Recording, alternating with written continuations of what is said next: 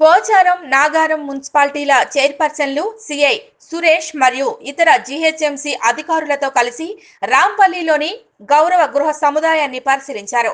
ఈ సముదాయం నలభై రెండు ఎకరాల్లో విస్తరించి యాభై రెండు బ్లాకులలో ఎస్ ప్లస్ పది అంతస్తులతో ఐదు వందల నలభై ఒకటి పాయింట్ ఎనభై మూడు కోట్లతో నిర్మించబడింది. ఇది దాదాపు సిద్ధంగా ఉంది. మరియు త్వరలో దాదాపు ఆరు వేల రెండు వందల నలభై సంతోషకరమైన కుటుంబాలకు నిలయంగా ఉంటోంది. టౌన్షిప్లో అందించాల్సిన మౌలిక సదుపాయాలు సౌకర్యాల గురించి సమీక్షించారు.